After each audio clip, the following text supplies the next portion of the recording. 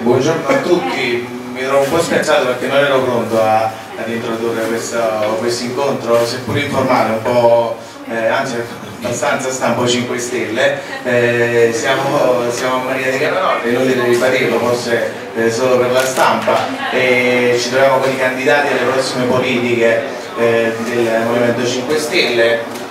Eh, niente, io farei fare subito gli onori di casa al consigliere comunale di Camerota Sessa Turno per poi lasciare la parola al vice sindaco eh, di Camerota Francesco Caricchio. Logicamente eh, qui davanti a me c'è Alessia D'Alessandro che si candida all'uninominale eh, della Camera dei Deputati e Franco Castiello che invece si candida al Senato sempre nel collegio Alburni, Cilento e Vallo di Tirano. Lascio la parola a Sessa Turno. Buongiorno, buongiorno a tutti anche io sarò molto molto breve perché non è, il parlare non è il mio forte. Sono contento di essere qua stamattina, sono contento di tutti quelli che, del numero delle persone che sono venuti, sono contento di avere la candidata Alessia, di avere il dottor Francesco e niente, ho poco da dire. Eh, tutti sanno in paese che comunque mi sono sempre manifestato in io l'ho fatto fortemente, ho aderito era il progetto che abbiamo portato avanti che ci ha portato ad essere oggi in amministrazione con le idee e le prerogative del Movimento 5 Stelle. Sono felice mh, del fatto che il sindaco, nonostante una persona che ha sempre valorato il centrodestra, giusto? Vice sindaco, vice sindaco ha sempre valorato il centrodestra, alla fine si è arrivato a, a, ad abbracciare il movimento e a dargli forza in questa, in questa avventura. Sono contento anche della presenza di Sana, una persona particolarmente sensibile e non a caso all'interno dell'amministrazione un ruolo particolare veramente sensibile. Però. Non mi dilungo, a, a Francesco. Salve, buongiorno a tutti. José ha detto, detto una verità. Eh, negli ultimi vent'anni sono stato un, un elettore di, di centrodestra. Oggi ho scelto di partecipare e cambiare per un motivo molto semplice è una scelta che ho maturato da, da, un mese più o meno a questa parte.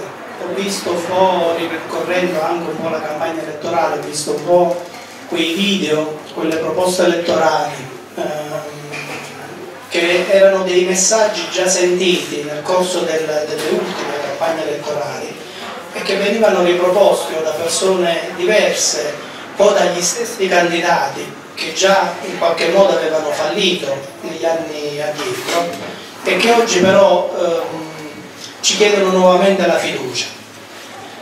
Il, il cittadino ha un limite, eh, siamo portati a, a ricordare quello che magari abbiamo mangiato ieri e ci viene più difficile ricordare quello che abbiamo mangiato l'altro ieri e invece il nostro compito è quello proprio di, di far presente che l'offerta che oggi ci offre il centro-sinistra, che l'ultimo partito che è stato al governo nazionale, è l'offerta che ci ripropone il centro-destra, che comunque si è alternato in questi 20 anni alla conduzione del Paese, è un'offerta che abbiamo già visto e purtroppo non ha risolto i problemi dell'Italia. Io sento parlare di, di flat tax, se ne discute tanto, eh, mi è capitato anche con amici di, di discuterne. E tanti si legano alla speranza partendo da, un'idea di base che non è possibile migliorare il paese, allora si ci lega alla speranza di quantomeno di pagare di meno eh, si abbattono le aliquote al 23 o al 15%, ancora non si è capito bene quale sia l'aliquota fissa da applicare, quantomeno paghiamo meno tasse. Però mh, mm, mi sarebbe piaciuto, magari poi l'avvocato Castiello ce ne darà ampia eh, mh, ci farà una disamina ampia sulla problematica. Mi sarebbe piaciuto che qualche giornalista avesse posto questa domanda all'ex Premier, e cioè se quest'idea di proporre una tassazione fissa al 23 o al 15% che sia, sia una legge costituzionale. Perché eh, noi sappiamo bene che l'articolo 53 della Costituzione, al secondo comma, ci impone il principio della progressività, che in pratica, eh, per spiegarlo in parole povere, ci dice che se io guadagno più di un'altra persona è giusto che contribuisca di più pagando più tasse rispetto a chi è più povero di me. Imponendo un'aliquota fissa, questo chiaramente non è possibile. Quindi ci potremmo trovare all'assurdo che il Parlamento approvi una legge che il giorno dopo verrà poi dichiarata incostituzionale dalla Corte Costituzionale.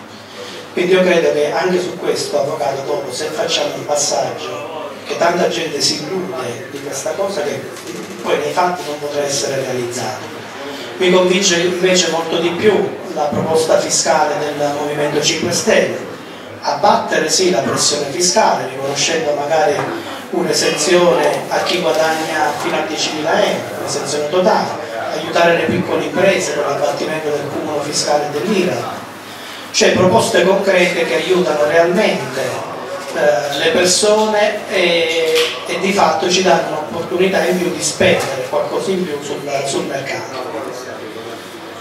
Mi, mi trovo ad ascoltare tante volte delle discussioni sulla... noi viviamo in un piccolo centro dove magari c'è anche assenza di lavoro. Tanti si legano al lavoro estivo di due, o tre mesi per poi pigliare la disoccupazione nel periodo invernale ma quale migliore ricetta del reddito di cittadinanza? che non significa regalare i soldi a un nulla facente, a chi non vuole fare e quindi sperperare denaro pubblico, significa dare dignità alla persona, significa dare dignità al lavoratore e a chi ha perso il lavoro, assicurando una, un contributo economico di 780 euro al mese e mettendo il singolo lavoratore, la singola persona disoccupata a stretto contatto con il centro per l'impiego perché poi se ci si rifiuta di andare a lavorare quando si crea un'opportunità è giusto che quella persona perda il contributo economico ricevuto dallo Stato. Io credo che queste siano delle cose concrete. Ho sentito tanta concretezza anche sul discorso immigrazione, che è un po' il, il cavallo di battaglia anche della, della Lega Nord. Sento parlare dello scandalo sull'immigrazione, del business che si è creato sull'immigrazione, dei, dei, famosi 37 euro di rimborso che vengono dati al, a chi eh, magari si fa carico di dare un pasto, di dare un pernottamento alle varie strutture ricettive che si, che si fanno carico di queste cose e quindi si dà colpa al centro-sinistra. Ci si dimentica però che al tempo stesso qualche anno prima lo stesso centrodestra aveva applicato la stessa ricetta con un contributo economico che non era di 37 euro, bensì si avvicinava ai 50, quindi con un aggravio di costi maggiori per, per lo Stato. Dai 5 Stelle sento in merito una proposta seria, stop al business dell'immigrazione. E come si fa? Garantendo il rientro di tutti quegli immigrati irregolari che stanno sul territorio nazionale, andando a rafforzare le commissioni territoriali che dovranno in un tempo ristretto, sì, nel programma mi sembra sia indicato un mese, eh, verificare le condizioni singole del, dell'immigrato e vedere se ha diritto o meno a stare in Italia, andando magari anche a ritrattare i vari trattati con i paesi che dovranno poi riceverli nuovamente. Queste sono proposte concrete. Quando le proposte concrete vengono da persone serie, da persone che si sono messe in prima linea per combattere ehm, il clientelismo, che hanno rinunciato con atti concreti, anche magari a gran parte del, dei loro stipendi a beneficio della collettività, io credo che sia giusto dare un'opportunità a queste persone, perché in quel modo noi non stiamo dando un'opportunità a uh, Francesco Castiello, a Alessia D'Alessandro, stiamo dando un'opportunità alla nostra generazione e a quelle che, che verranno. Cos'altro dirvi? Dirvi che non c'è neppure l'incompetenza. Eh, Alessia D'Alessandro, eh, giovanissimo, ma eh, sappiamo tutti la sua storia, come tanti di noi è dovuta eh, emigrare per poter fare un percorso di studio importante, eh, è andata all'estero, eh, ha assunto lì, ha conseguito lì la laurea, poi ha cominciato anche a lavorare con, in organi di, di prestigio. Francesco Castiello per me è un mito, eh, plurilaureato, primo avvocato della, della Banca d'Italia, dirigente, consigliere TAR, eh, docente universitario, eh, ha pubblicato vari, vari, libri in materie giuridiche. Io non mi dilungo più, passo la parola a loro e che avranno tanto da dirci. Grazie.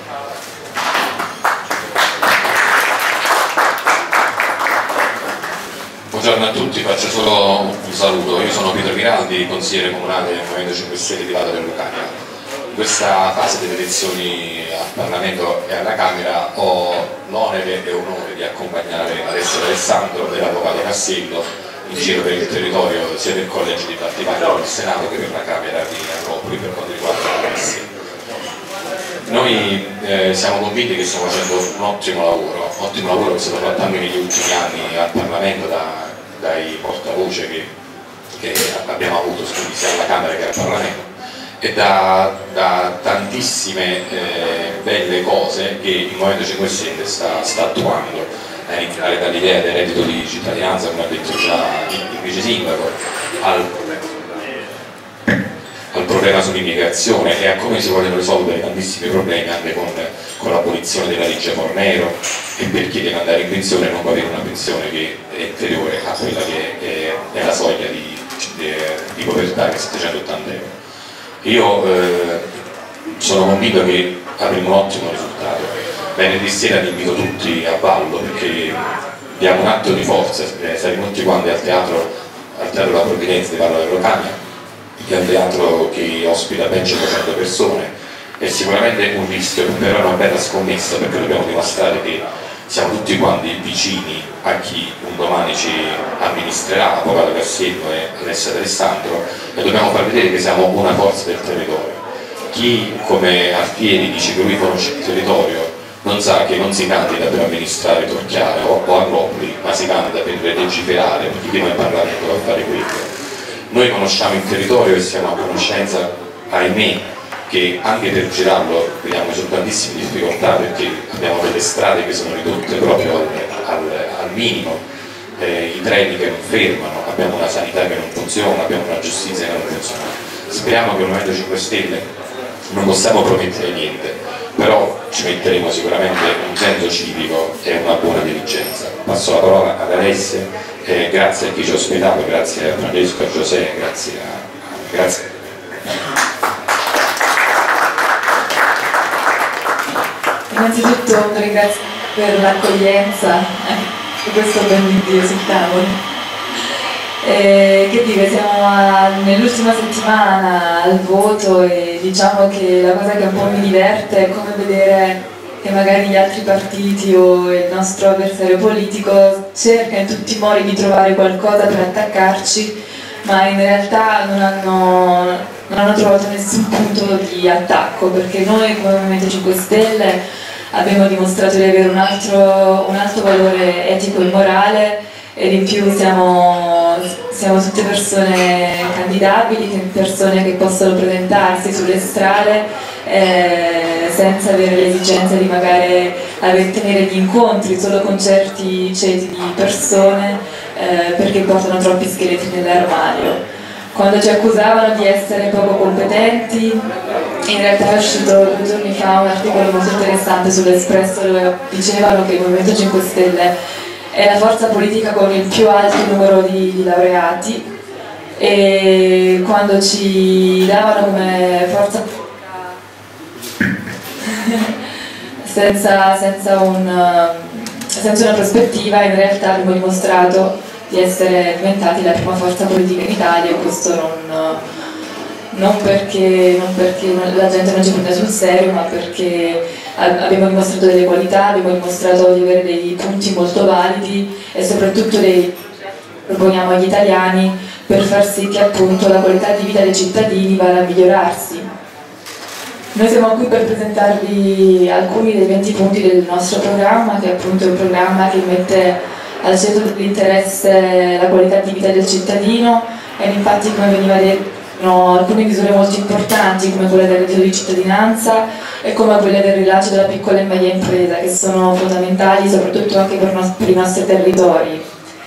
Io mi sono iscritta alla piattaforma Rousseau nel gennaio 2017 quando il movimento ha chiarito la sua posizione anche riguardo all'Europa, perché io sono, sono una cittadina italo-tedesca, sono nata e cresciuta in Italia e sono dovuta scappare poi dall'Italia all'età di 18 anni quando ho conseguito la maturità per crearmi un futuro meritocratico all'estero ho frequentato alcune delle migliori scuole in Europa, sono stata anche a Parigi e ho conseguito la laurea in economia, economia aziendale e con la specializzazione in pubblica amministrazione.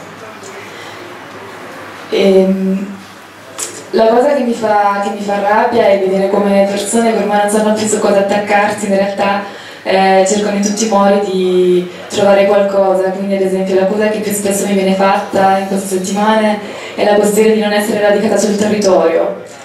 Io in realtà sono, sono stata, se vogliamo dirla così, vittima di questa malamministrazione, di questa politica che non ha potuto offrirmi quello che in effetti cercavo, perché per me valori come l'onestà, la competenza, senza andare a chiedere i favori, sono appunto qualità fondamentali ho, sempre, mi sono sempre costruita il mio percorso da sola, con le mie forze, rimboccandomi le maniche e magari sempre scegliendo la strada più dura. Se essere radicati sul territorio significa ricoprire un ruolo quasi egemone, concentrare il potere nelle mani di una persona che poi ha anche la possibilità di mettere eh, mogli, parenti, nipoti e figli a ricoprire incarichi della pubblica amministrazione e poi non sanno neanche bene amministrare, allora in quel caso non mi sento radicata.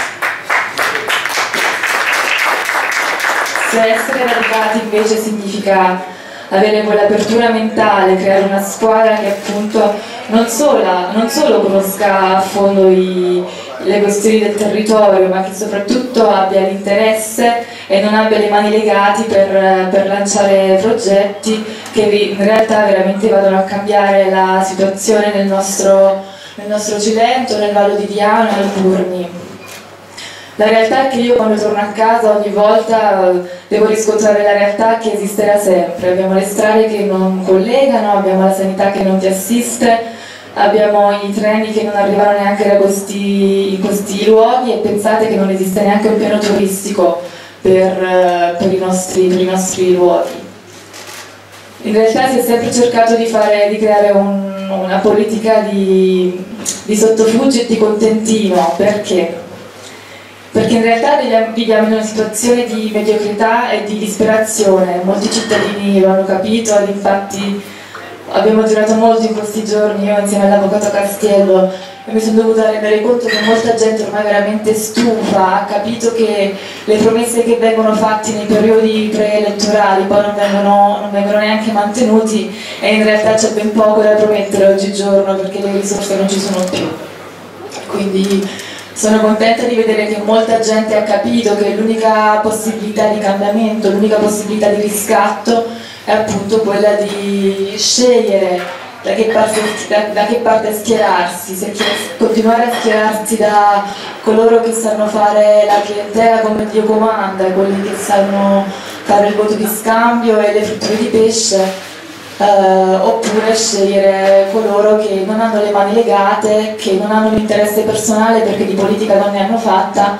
Io mi definisco sempre una cittadina che ha studiato e ha conosciuto i problemi delle, dei, dei, nostri luoghi, però anche, ho anche avuto questo, questa unica opportunità di andare all'estero, di aprirmi la mente, di conoscere anche altre realtà e di imparare da altri modelli e magari applicare questi modelli proprio anche qui in Italia e contestualizzarli per i nostri territori.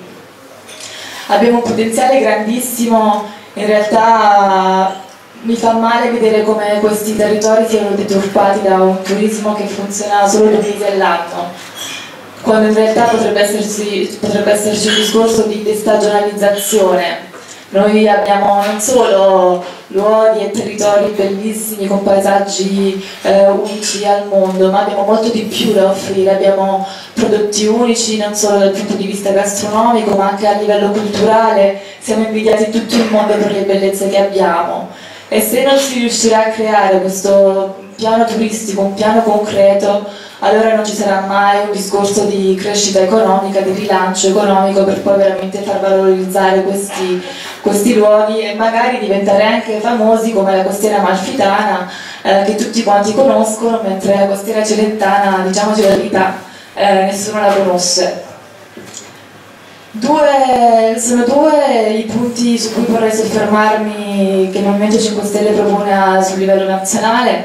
Il primo è appunto il reddito di cittadinanza, che è un reddito di dignità ed è una manovra economica, non una misura assistenziale, che già funziona in molte economie europee, ad esempio in Germania questo, questa misura già esiste da tantissimi anni in realtà cosa prevede questo reddito di cittadinanza?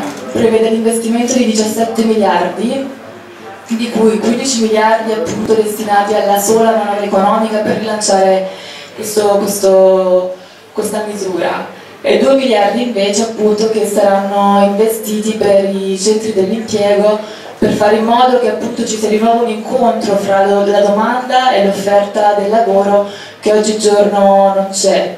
Pensate che in Italia eh, per i servizi dell'impiego, il personale all'interno dei servizi dell'impiego, eh, se qui una persona deve occuparsi del reinserimento nel mondo del lavoro di 500 persone, in Germania la percentuale è di 1 su 1 per 20, ossia una persona che segue il reinserimento di, di 20 persone nel mondo del lavoro ed è per questo che le tempistiche sono più veloci ed è per questo anche che le persone riescono a trovare professioni che più si addicono anche al loro profilo, a quello che hanno studiato o non hanno studiato. E, e questo appunto va a creare poi quel discorso di crescita occupazionale, crescita economica e crescita anche di qualità di vita del cittadino. In questi luoghi abbiamo, abbiamo le piccole e medie imprese che, che appunto è, è il cuore non solo di questi posti ma anche dell'economia, dell'economia italiana e noi per questo vogliamo fare in modo che l'interesse della piccola e media impresa torni al centro dell'attenzione che sempre più si è vista tagliata, si è vista mancare anche le, le possibilità di finanziamento soprattutto con il divulgarsi della crisi economica del 2008-2009. In realtà che cosa vogliamo fare? Tre cose. La prima è l'abolizione dell'IRAP, quindi alleggerire il cuneo fiscale. Secondo, vogliamo alleggerire l'apparato burocratico che opprime le piccole e medie imprese e non le rende competitive perché i tempi sono lunghissimi e si prevedono dei costi di circa 8.000 euro l'anno solo per eh, l'apparato burocratico. Ed infine appunto vogliamo istituire questa banca pubblica di investimento per far sì che siano gli interessi della piccola e media impresa, della famiglia e degli agricoltori quelli che veramente vengono uh, messi al centro dell'attenzione e non quelli della uh, banca di finanziamento e del mondo finanziario, ma dell'economia reale. Diciamo che scegliere di votare il Movimento 5 Stelle non significa uh, darci il voto solo perché abbiamo un bel programma. Votarci significa soprattutto votare le persone che rappresentano il movimento e siamo stati veramente in questa campagna elettorale è stato palese che siamo l'unico movimento ad avere persone incensurate, persone che possono presentarsi ovunque, persone a non avere condanne penali e persone che possono appunto dare quella credibilità al governo che tanto manca. Non dimentichiamoci che sia i governi di centrodestra che di centro, centrosinistra sono stati responsabili non solo per il crollo dell'Italia dal punto di vista economico, ma che abbiamo perso anche la nostra dignità in realtà, perché? Perché ai tavoli europei l'Italia è sempre l'ultima ad avere qualcosa da dire, anzi non può dire proprio più niente. Abbiamo avuto un signore di 81 anni che non dimentichiamoci ci ha ridicolizzati non solo per appunto eh, creare il crollo dell'Italia dove lo spread è salito alle stelle, ma soprattutto anche per le questioni dei, dei suoi affari privati che poi li ha fatti entrare nella politica e questa è una cosa che ha fatto, ci ha fatto vergognare. Eh, sentire sui quotidiani che si parlava solo di feste bunga bunga e quello era proprio il periodo in cui io stavo scrivendo la mia tesi di laurea appunto sulle politiche di austerità, come abbiano rovinato l'Italia. Eh, veramente mi feriva perché in realtà vedevi che anche gli stessi quotidiani eh, ridicolizzavano l'immagine dell'Italia, perché come, è possibile che parliamo di politica però poi parliamo di, di affari e di gossip in realtà? Voglio, fare, voglio concludere il mio discorso facendo un appello, che è l'appello al voto, perché proprio visto che siamo agli ultimi giorni di campagna elettorale, il voto sarà brevissimo, purtroppo c'è ancora una gran fetta di, di persone che il partito degli indecisi che ancora non sa chi votare o che magari si asterrà al voto proprio perché si sentono schifati da questa politica, da questa classe dirigente che per anni si è presa a gioco di noi. Voglio invitarvi a una riflessione. Il non voto è pur sempre un voto. E magari sarà un voto proprio per quei ceti politici che i loro pacchetti di voto già ce l'hanno e magari proprio per quei partiti che meno vogliamo che ci rappresentino. Noi abbiamo questa possibilità oggi, quella di far sentire la nostra voce. Ed è molto più apprezzato fare una scelta, schierarsi da una parte piuttosto che non schierarsi da nessuna parte, perché come detto, quando il cittadino rinuncia al voto, in realtà rinuncia non solo a un suo diritto ma anche a un suo dovere.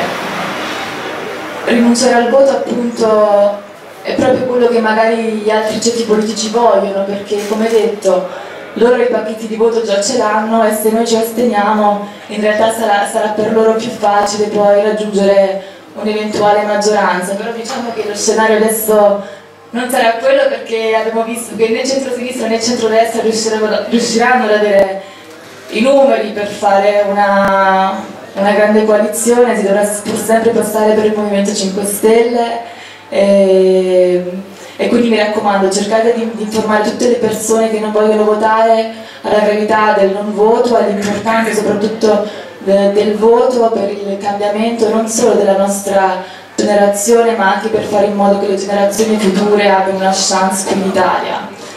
Vi invito nuovamente tutti quanti venerdì alle 18.30 presso il Cineteatro La Provvidenza di Val della Lucania per appunto concludere in bellezza questa campagna elettorale. Io e l'Avvocato Castiello saremo, saremo lì e spero di vedervi numerosi in maniera che possiamo celebrare la chiusura di questa campagna elettorale che è, stata tanto, faticosa ma allo stesso tempo bellissima, quindi cercate di venire, ci farebbe molto piacere.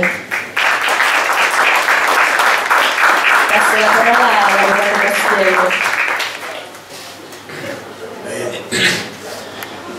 ringrazio per averci dedicato una parte del vostro tempo e mi ricollego subito per entrare nel cuore degli argomenti a quello che diceva il nostro uh, preparatissimo e chiaro vice sindaco. C'è una espressione sulla quale dobbiamo riflettere l'attuale ministro Calenda, ministro dell'industria, ha proposto di istituire per questa campagna elettorale una tassa sulle sciocchezze. Cioè chi più dice sciocchezze dovrebbe essere tassato e tassato in proporzione.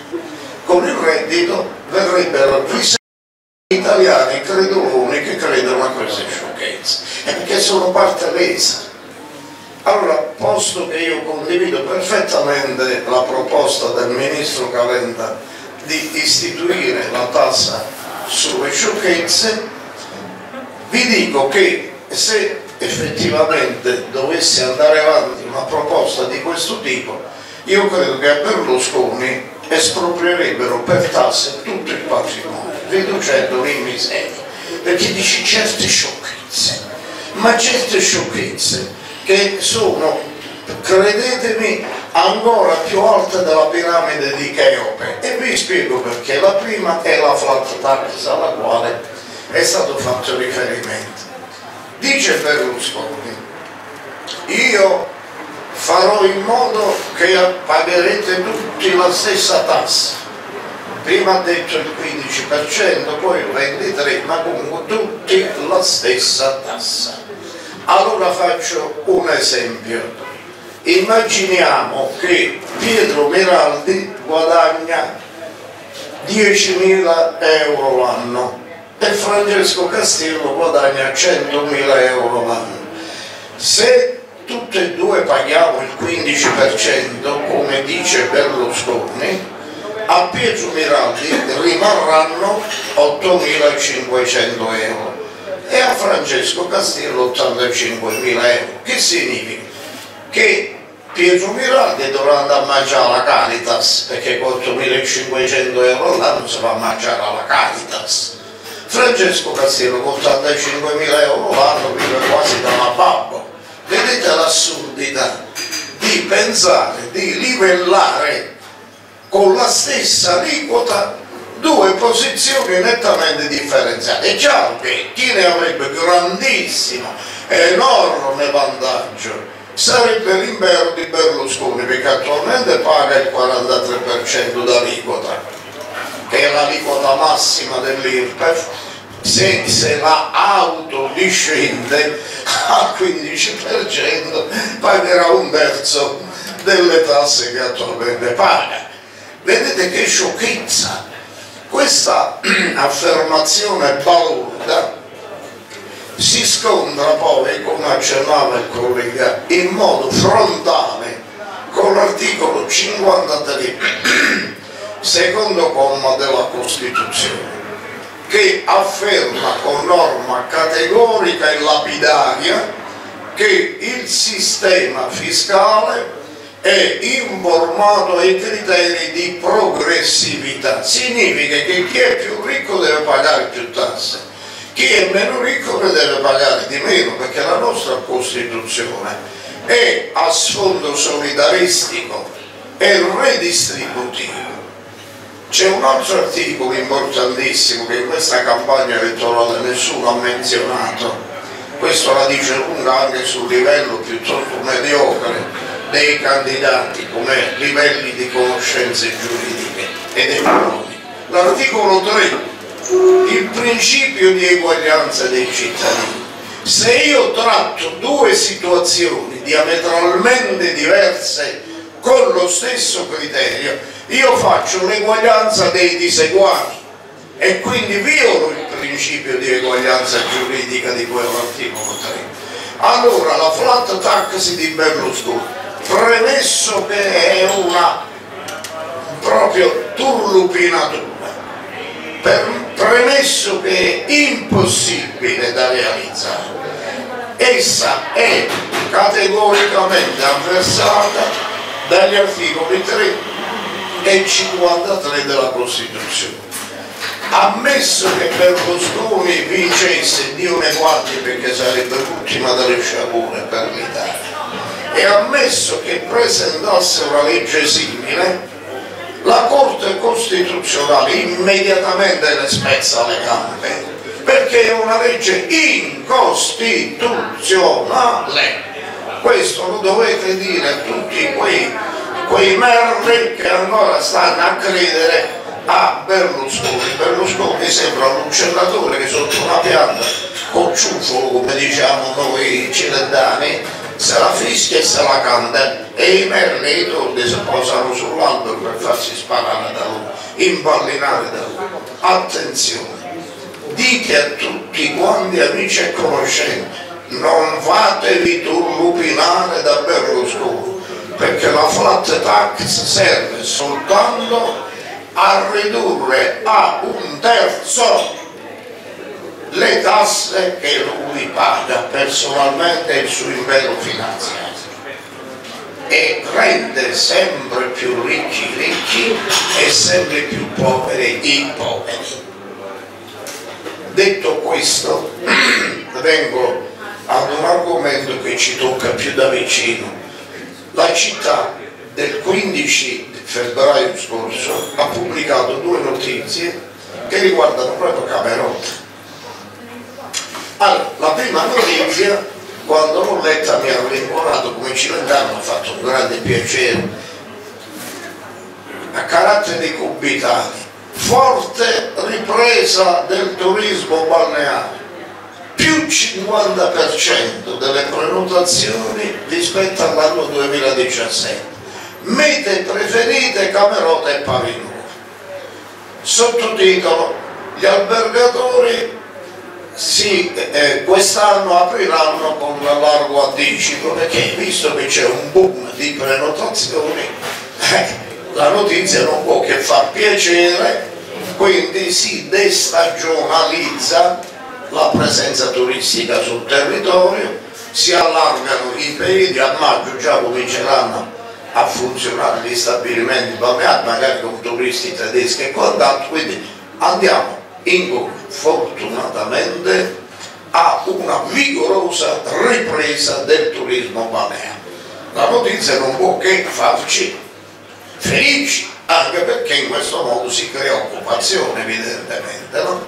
abbiamo in questa regione il 50% dei giovani disoccupati tutto ciò che concorre a riassorbire la disoccupazione giovanile non può che farci felici. Ma all'altra pagina del giornale c'era scritto questo su, su per strada Cilentana.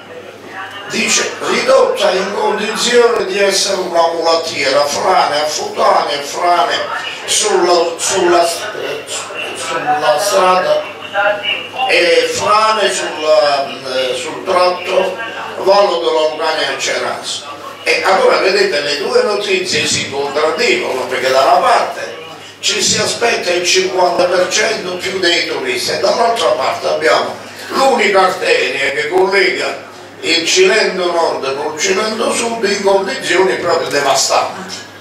E allora qui c'è qualcosa che veramente non fa e non è accettabile. Abbiamo come candidati nelle liste opposte alla nostra formazione politica gente come Cirielli e come Iannone che sono stati presidenti della provincia cui spettava la manutenzione della superstrada cilentana l'hanno tenuta quattro anni chiusa all'altezza di Agropoli e ora è in condizioni di frane continue per mancanza di manutenzione e hanno la faccia tosta di presentarsi alle elezioni di venire a chiedere il voto e quello che fa dispiacere che ci sono ancora dalle parti nostre nel basso Cilento cittadini che vanno a dare il voto a questi furfanti che hanno rovinato l'economia delle nostre regioni. È veramente penoso, penoso che si vada ancora a votare per queste persone. Se poi guardiamo a che cosa è successo nella sanità, vedete io ho un collegio vastissimo, il mio collegio senatoriale prende, pensate, da Battipaglia e finisce a Sala Consilina 600.000 abitanti eh, tanto è vero che ho esaurito completamente la voce come potete constatare perché ho parlato con centinaia migliaia di persone tutti tutti mi hanno detto che le condizioni della sanità in questa ampia area della provincia di Salerno sono in uno stato penoso.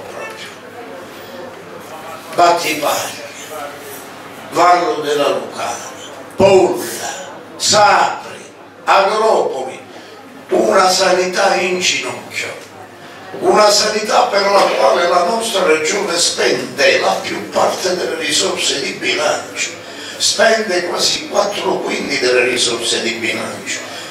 Noi dovremmo aspettarci di fronte a questi investimenti una sanità, una sanità di eccellenza e invece abbiamo il tasso migratorio sanitario più alto di tutte le regioni meridionali.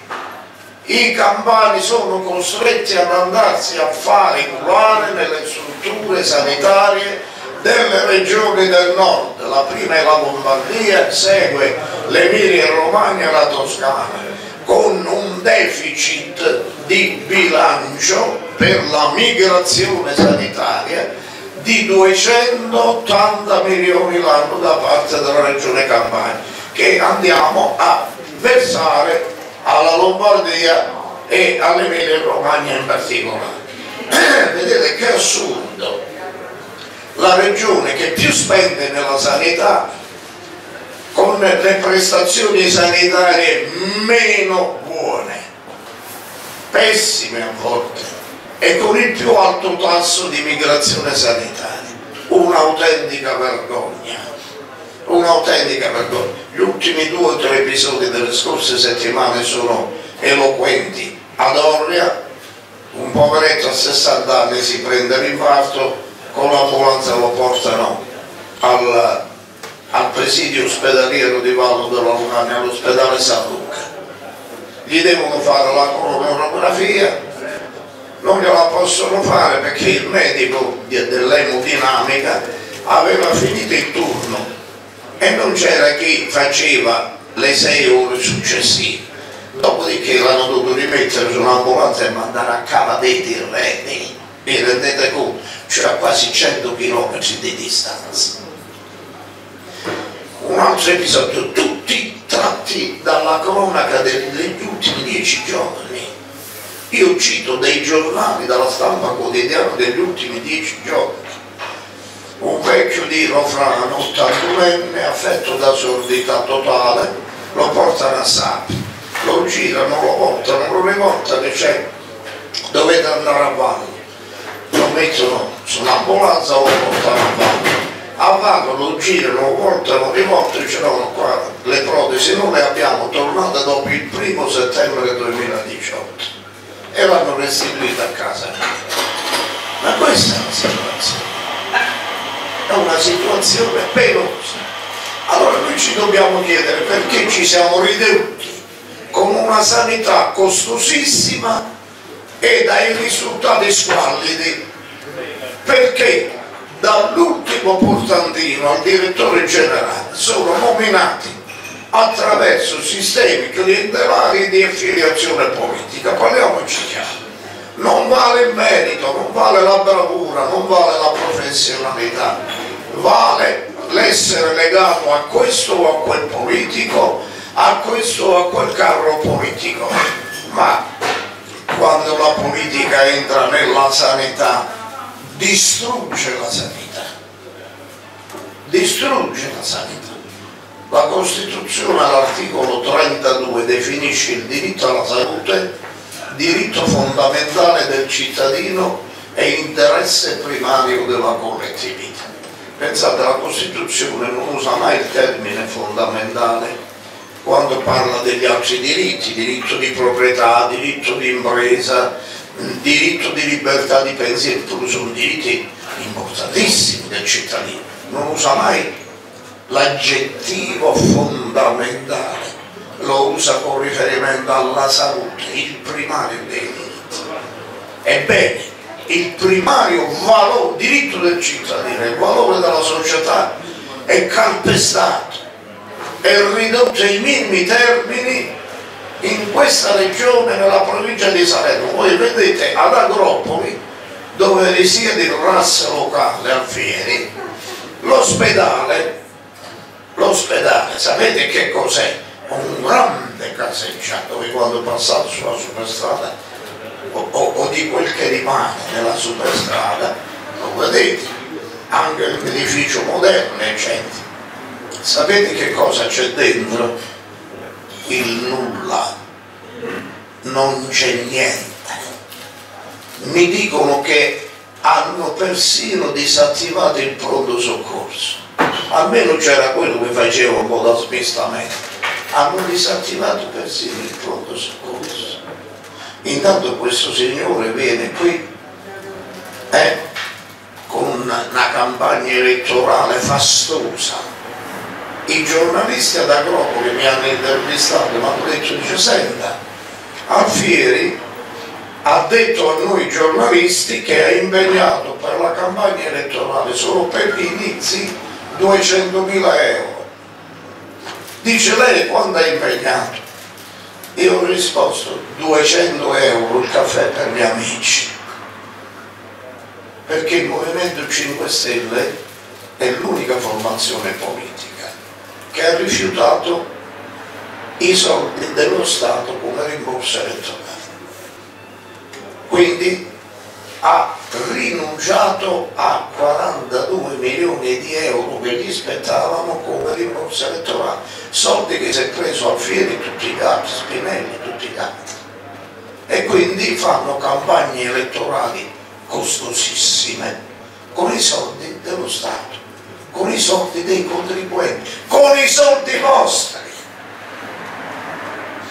Noi invece stiamo facendo una modesta campagna elettorale artigianale fondata solo sulle nostre personali modeste disposizioni. Io non sono riuscito a mettere neanche un manifesto in tutti i 98 paesi, in tutte le 98 città del mio collegio elettorale, da Sala Consilina a Battimano. E me ne vanto perché non conta tanto il manifesto. Votate eh, Alessia D'Alessandro o votate Francesco Castiello questa è esteriorità. Non abbiamo bisogno di questo. Noi diciamo ai cittadini votate per chi ha il casellario giudiziario e i carichi pendenti puliti e immacolati noi non abbiamo scheletri negli armadi alle nostre spalle. Noi non ci siamo avvalsi della prescrizione per non andare a finire in galera. Noi abbiamo le mani pulite, l'onestà mentale e siamo coloro i quali fanno una politica basata non sulle esteriorità ma sui valori delle nostre idee. Noi siamo l'unica alternativa politica, vedete non a caso. Noi non ci chiamiamo Partito 5 Stelle, noi ci chiamiamo Movimento 5 Stelle. C'è una bella differenza tra movimento e partito. Partito evoca una struttura, una struttura clientelare, un apparato costoso, un apparato che succia allo, sta allo Stato e ai contribuenti milioni e milioni di euro per il finanziamento dei partiti, noi siamo un movimento, cioè un insieme di idee che si autofinanzia. Noi, noi ci autofinanziamo, sapete come abbiamo finanziato questa campagna elettorale? Siamo andati a mangiare la pizza, Paolo, della locale eravamo veramente molte decine di persone e abbiamo pagato 15 euro ognuno di noi, una pizza e una birra. E la, il ristoratore si è preso la metà e l'altra metà li abbiamo messi in una cassa comune con cui abbiamo autofinanziato la campagna elettorale. Questo abbiamo fatto. Noi non abbiamo chiesto soldi allo Stato e ai contribuenti, li abbiamo rifiutati e lo stipendio dei parlamentari 5 Stelle, gli unici, per la metà vanno in un fondo con il quale vengono concessi aiuti alle piccole imprese in difficoltà, artigiani, commercianti in difficoltà per questa gravissima recessione economica, questa gravissima crisi che accenna a finire, ma non è vero che sia finita come ci contrabbandano. Se voi vedete per televisione il ministro Padoan oppure Gentiloni che sembrano due portatori sani di malinconia, io così li definisco, a me mi mettono tristezza a vederli, no? Eh? I quali dicono, ah siamo usciti dalla crisi, finalmente. Ma che cosa siamo usciti dalla crisi? Ma voi lo sapete che... Allora, riflettiamo sui, sui numeri, sempre, perché io l'economia l'ho studiata e l'ho studiata seriamente, io sono documentato, non venga a dire sciocchezze. Allora, gli altri paesi d'Europa hanno un incremento di PIL del 2,4, 2,5, 2,7%. Noi siamo all'1,4, mi dite perché c'è questa forte differenza? Perché da noi il PIL è aumentato solo la metà? C'è la risposta. Perché è ancora in crisi l'edilizia in Italia, l'edilizia è in ginocchio, l'edilizia non è uscita dalla crisi. La differenza tra quel modestissimo 1,4 italiano e 2,7 degli altri paesi la fa l'edilizia. L'edilizia ha perduto 900.000 occupati in questo periodo di recessione. E, e quando si ferma l'edilizia è l'unica industria che ha 18 indotti perché dall'edilizia dipende l'elettricità, idraulica, eh, laterizi, falegnameria, dipende tutto. E noi che cosa abbiamo nel sud? Abbiamo d'estate un po' di turismo e poi abbiamo edilizia, non abbiamo nulla più. Se si ferma l'edilizia, si ferma l'economia dell'Italia meridionale. Quindi che cosa mi vengono a dire che siamo in ripresa? Ripresa di che cosa? Con un'edilizia che non riparte, con un'edilizia ferma e 18 attività indotte ferme anch'esse per i riflessi negativi della stasi dell'edilizia. Quindi sono tutte sciocchezze che ci ammazzano, perché poi lo dicono? Perché dicono, ah ma noi adesso che siamo in ripresa non siamo mai vincono i 5 Stelle e quelli sono rivoltosi, rivoluzionari, eh, metteranno disordine nei conti, ma non dicessero pagliacciate, non dicessero stupidacci. Qua l'unico che metterà veramente disordine nei conti sarà Berlusconi, perché deve eh, alimentare il suo impero finanziario e quindi pensa alla riduzione delle tasse funzionale al suo impero finanziario. Poi c'è pure il problema di, eh, parliamoci chiaro, di finanziare lì tutti i palazzi dove abitano le oggettine, voi sapete, no? Tutti i palazzi del Maduca,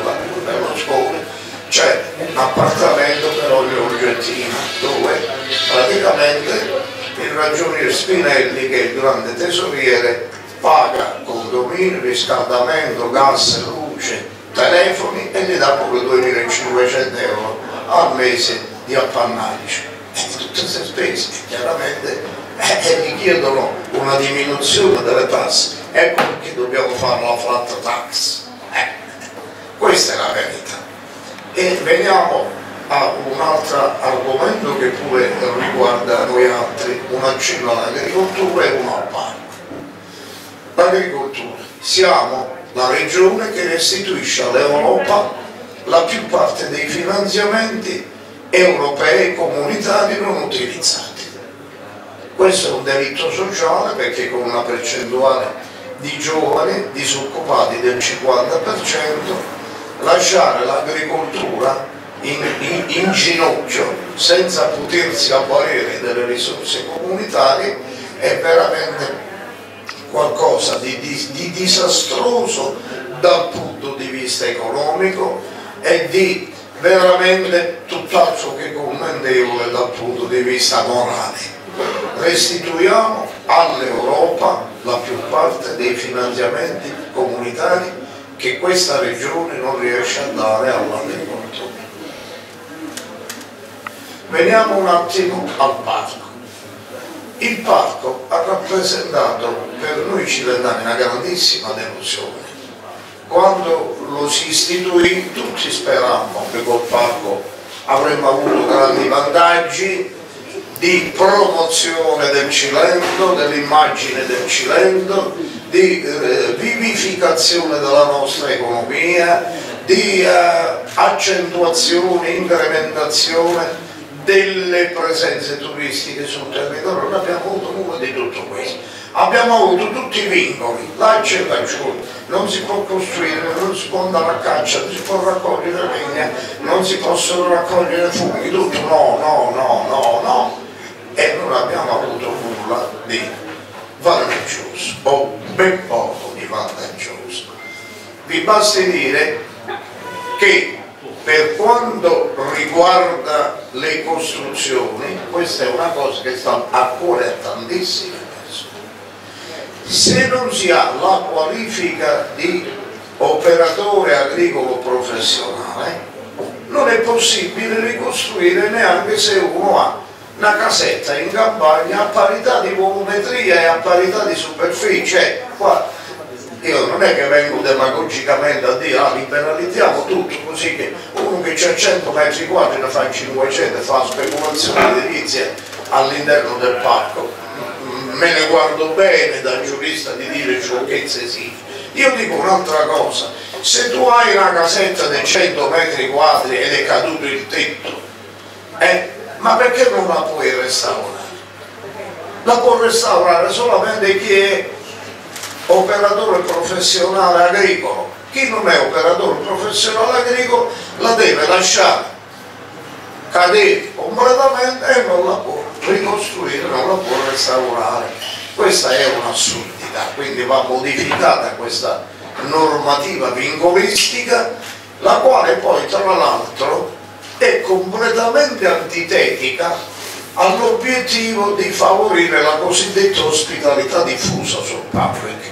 L'ospitalità diffusa consiste nel fatto che se io ho una casetta con i crismi della tipologia dell'architettura rurale tipica del nostro ambiente, del nostro panorama, io potrei utilizzarla magari per una coppia che vuole venire a passare un fine settimana, per delle persone che vogliono vivere la vita del parco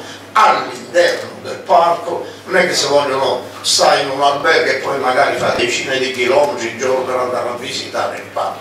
L'ospitalità diffusa significa diffusa all'interno del parco. E allora, vedete che strabismo, se uno avesse gli occhi strabici, da una parte dice dobbiamo favorire l'ospitalità diffusa nel parco, dall'altra parte diciamo guai a voi se osate di costruire e restaurare le case che avete nel parco. Sono due obiettivi che fanno a pugni tra di loro, quindi noi dobbiamo risolvere questa pesante contraddizione. Ci sarebbe tant'altro da dire, ma io un po' ho esaurito completamente la voce quasi, un po' ho esaurito la vostra tolleranza. Quindi io lancio soltanto un appello da cilentano. Non facciamoci fregare ancora una volta da queste cavallette che hanno distrutto il nostro territorio, l'hanno succiato. Non c'è rimasto nulla più. Abbiamo 200.000 laureati che hanno abbandonato il soggiorno, 200.000 giovani con la laurea che hanno dovuto emigrare perché non hanno trovato lavoro in questa terra. Vedete, se ne è andato il meglio della popolazione, 200.000 laureati. Abbiamo il più alto tasso di migrazione sanitaria, dobbiamo andarci a far curare fuori regione. Abbiamo il più alto livello di inutilizzazione dei fondi comunitari, restituiamo all'Europa cospicue risorse finanziarie ne riusciamo a spendere. È l'unica regione italiana che non ha un piano turistico. Il turismo è una delle maggiori fonti di entrata, Avrebbe, avremmo dovuto avere uno dei più efficienti piani turistici rispetto a tutte le regioni italiane, siamo l'unica regione che non ha il piano turistico. Ma vi siete chiesti perché? Perché se facciamo il piano turistico e diciamo vogliamo favorire, canalizzare i finanziamenti su Camerotti o su Palinuro o su Agropoli, che so io, poi poniamo dei vincoli, no?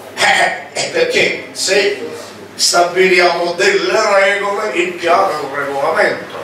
queste regole ci vincolano, ma se fissiamo poi dei vincoli, come facciamo per fare clientela? Eh, ci leghiamo le mani. Il, il piano turistico diventa un autovincolo per chi gestisce i finanziamenti. Meglio non avere nessun piano, meglio essere liberi da qualsiasi vincolo, così decidiamo volta per volta, a seconda delle convenienze, a seconda delle clientele e a seconda delle corruttele, a seconda delle mazzette, delle buste. Ecco la ragione per la quale non si fa il piano turistico in questa regione. Quindi abbiamo veramente una situazione pessima. Quindi cerchiamo di dare una svolta radicale a questa politica negativa da tutti i punti di vista.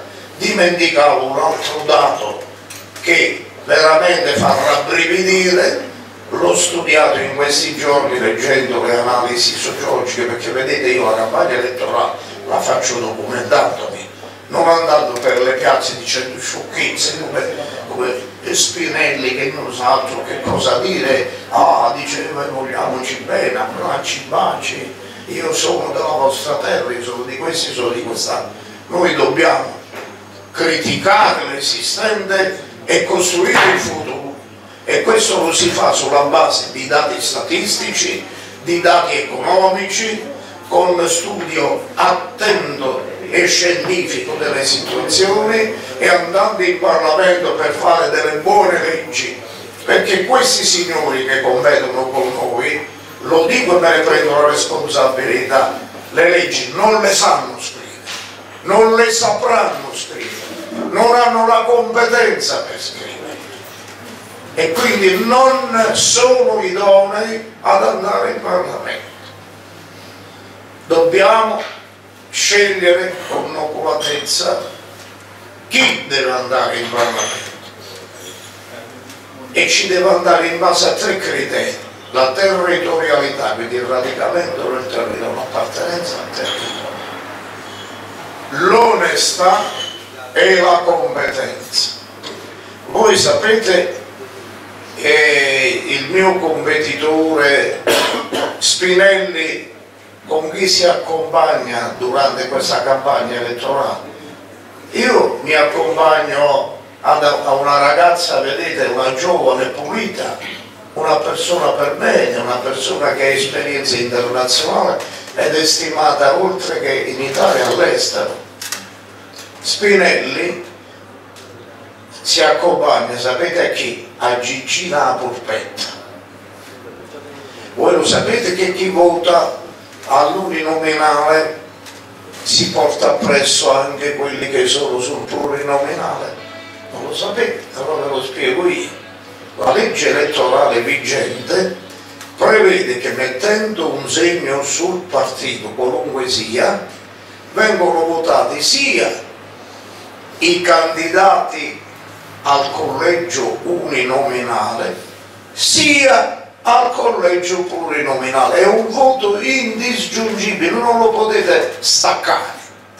Quindi chi vota Spinelli vota Gigi La Polpetta. Se non sapete chi è Gigi La Polpetta, vi dico io chi è. L'autista, l'ex autista di Cutolo, che si è beccato due sentenze di condanna per associazione camorristica. Sappiate per chi votano quelli che decideranno di votare per la destra, perché bisogna almeno sapere. Sappiate per chi votano. Se poi l'altro antagonista che io ho sul fronte del PD, eh, sapete chi è? Un'avvocatessa, si chiama eh, Gallo di cognome, fa parte della entourage di Emma Bonino radicale perché i radicali hanno fatto il patto di coalizione col PD e gli hanno dato una manciata dei collegi per accontentarli no? e gli hanno dato il nostro collegio considerato una specie di collegio di serie B da parte del PD no? quindi il collegio mio numero 11 Campania da Sala Consilina a Battipaglia che chi sono i miei due oppositori, i miei due rivali, sono Spinelli che cammina mano nella mano con Gigina a Portetta e per il PD abbiamo sta avvocatessa che fa parte dei radicali. A questo punto io vi prego di informare amici e conoscenti che sappiano perlomeno a chi danno. Poi giudicheranno secondo la loro coscienza e la loro volontà, ma informateli per favore, informateli. E quindi io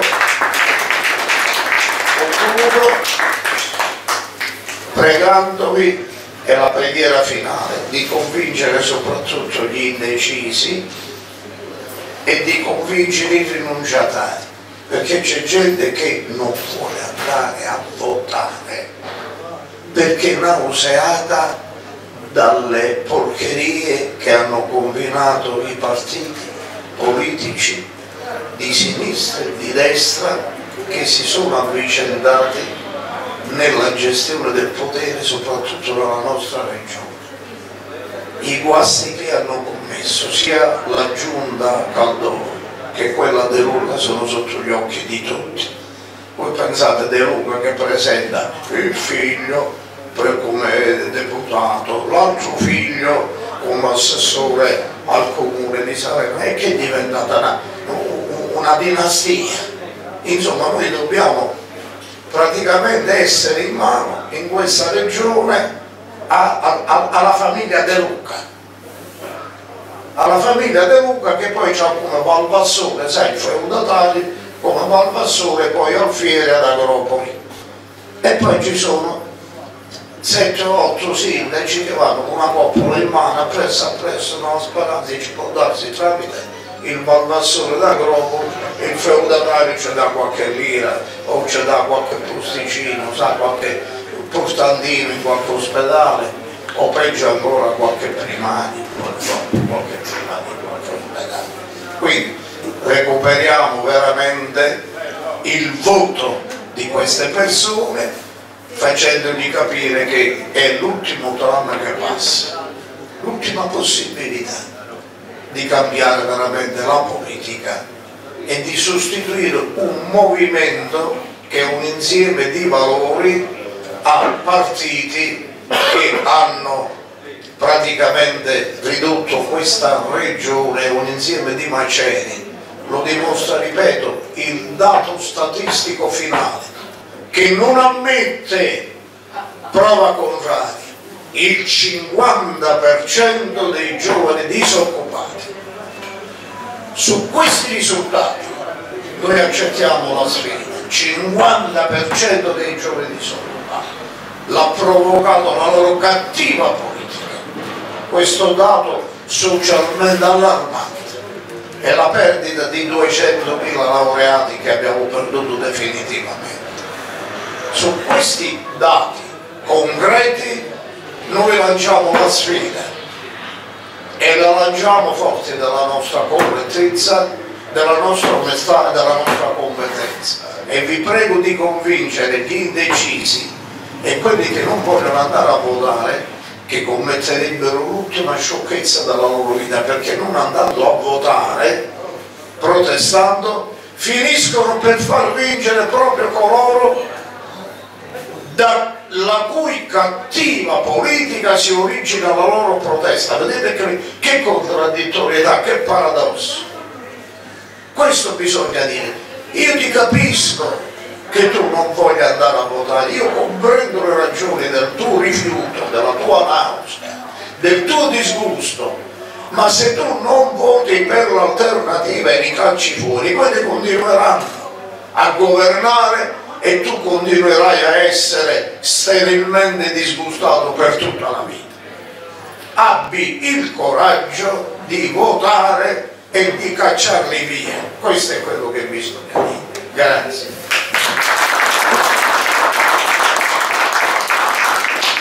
Noi chiudiamo uh, la campagna elettorale con l'ultimo comizio che faremo a chiusura al Teatro La Provvidenza di Vallo esattamente venerdì alle 18.30 vi invitiamo perché sarà una grande, grandissima manifestazione.